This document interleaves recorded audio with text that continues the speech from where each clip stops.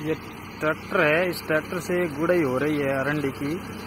चारों तरफ़ से जो गुड़ाई हो जाती है, बीच में अरंडी रह जाती है। बीच वाला हल निकाला हुआ है इस तरीके से आप ये देख रहे हैं, ये ट्रैक्टर चालक है और ये अरंडी से गुड़ाई हो रही है, देखिए। इस तरीके से अरंडी बीच में रह जाती है, आसपास एकदम अच्छी तरह से गुड़ाई हो जाती है, जो निंदाण वगैरह बोलते हैं।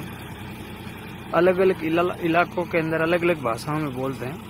अच्छी तरह से ये देखिए आप रंडी की पूरी तरह से रंडी बीच में रह जाती हैं और अच्छी गुड़ाई हो जाती है, जिससे अंडी की जो उपज है वो अच्छी होती हैं और एकदम से उसकी जड़ें मज़बूत होकर चारों तरफ़ से फैल जाती हैं। आप इस चैनल को सब्सक्राइब करें, आगे बढ़ाएँ, शेयर करें, इस वीडियो को शेयर करें, ज़्यादा से ज़्यादा लाइक करें। धन्यवाद।